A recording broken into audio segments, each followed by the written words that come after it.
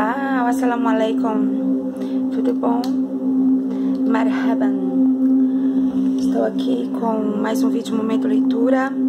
Essa música que é uma trilha sonora, cinco trilhas sonoras sem direitos autorais, tá? Que eu vou deixar aqui no fundinho.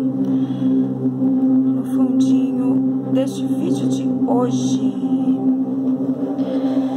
Estou aqui com mais um Momento Leitura. Dessa vez vou ler mais um pouquinho da Folha de São Paulo, tá? Da Folha de São Paulo com dinheiro vermelho, dinheiro vermelho. O que, que seria então esse dinheiro vermelho? Acusado de conspiração progressista pela direita indústria indústria do entretenimento descobre como faturar com os jovens de esquerda que querem consumir para mudar o mundo. Então, o vermelho é uma cor ligada ao comunismo, né? Então, é, os jovens, né? Ele, as pessoas que têm força, né? E, e tempo para lutar são ligados, né? É, muitas vezes se associam à esquerda. E a esquerda está muito associada a essa cor vermelha, né?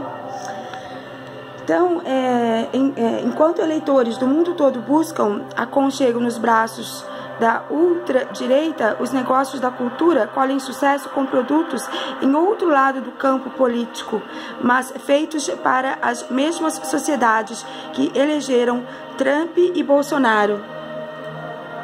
Então, dentro da, da, nossa sociedade, né, que elegeu Trump e Bolsonaro, tem então aqueles jovens que gostam de se vestir, né, de acordo com é, aquilo que representa uma, é, uma ideologia contrária, né, ao a vigente, né, ao status quo, direitosa, né, que nós temos aí atualmente com Bolsonaro e Trump. É, o MIT São Paulo, a sétima Mostra Internacional de Teatro São Paulo, vai de 5 a 15 de março de 2020. Então, é, acho que já passou, né? Jovens ainda vão às baladas em Berlim, apesar do coronavírus. Estão lá na Alemanha. É na Alemanha, os jovens não estão deixando de sair de casa por causa do coronavírus, não. Centenas de pessoas continuam frequentando festas com muita gente e pouco espaço em áreas de risco. Sabe, aqueles, aqueles locais, aqueles bares, pubs, né, lotados de gente. Lá na Alemanha, eles não deixaram de ir por causa do coronavírus. Vivemos hoje os tempos nervosos de acossado que completa 60 anos. Estreia de Jean-Luc Godard, rodado em 23 dias. Filme é um dos principais clássicos de Nouvelle Vogue. Vague, não sei como que fala. Vogue, tá?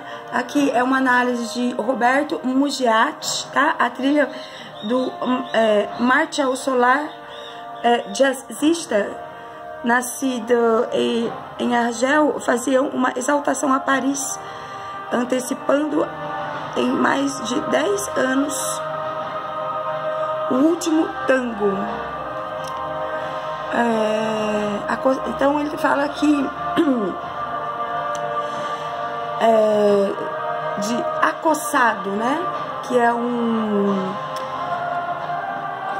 um filme, um dos principais clássicos de, é, nesse estilo Vogue, Vogue, não sei como que se pronuncia. Michael fica, sai à rua para receber o dinheiro que o amigo finalmente lhe entrega. A polícia chega e atira. Balhado nas costas, Michael morre. Depois cai estatelado, olhando para o céu na cena final icônica. Isso é um, uma descrição de uma cena do filme, tá? Não me surpreenderia se, na relação de 2022, descambasse um corpo que cai, assim como o filme de Hitchcock é, descambou o cidadão Kane. Então eu acho que ele, ele fala justamente desse estilo, né?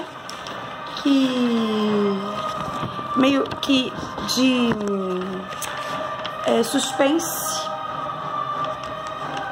Veja, aqui a americana Jan Seberg em cena de Acossado. Então é um filme interessante. Quem assistiu Acossado, deixe nos comentários. Ó, com venda, Carriers do Senama enfrenta crise de identidade. É uma matéria de Inácio Araújo. A crise mais dramática começou em 62, quando Jacques Rivette liderou, com apoio de Truffaut, uma rebelião contra a linha do então diretor de redação Eric Hachmer.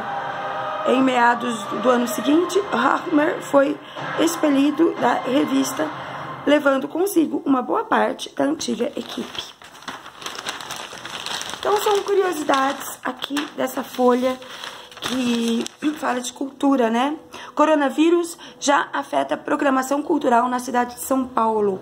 Peças de teatro, shows e musicais na agenda da capital tiveram suas apresentações suspensas.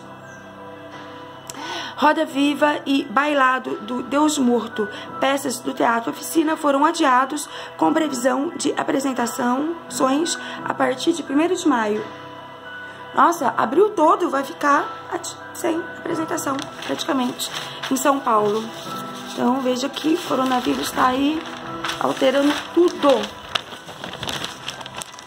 É, Pure Jam lança primeiro álbum em sete anos. Olha, o lançamento de Pure Jam. Início da turnê de Gigaton seria em março em Nova York, mas o site da banda adiou o tour devido ao coronavírus. Também adiou. Então, ó, Gigaton é um dos discos mais ousados de Pure Jam em muitos anos. Veja a faixa a faixa ao lado. Então tem é, Who Ever Sage. Inicia com cítaras, mas logo deságua numa pancada punk.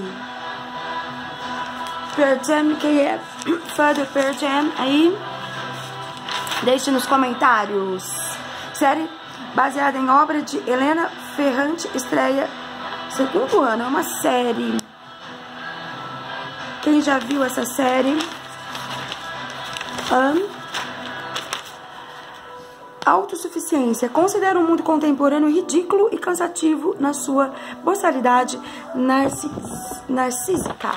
Então, aqui é, um, é um, uma matéria crítica né, sobre. Série, série imagina os Estados Unidos rumando para o fascismo durante a Segunda Guerra. É uma série baseada em obra de Philip Roth, Flat Against America.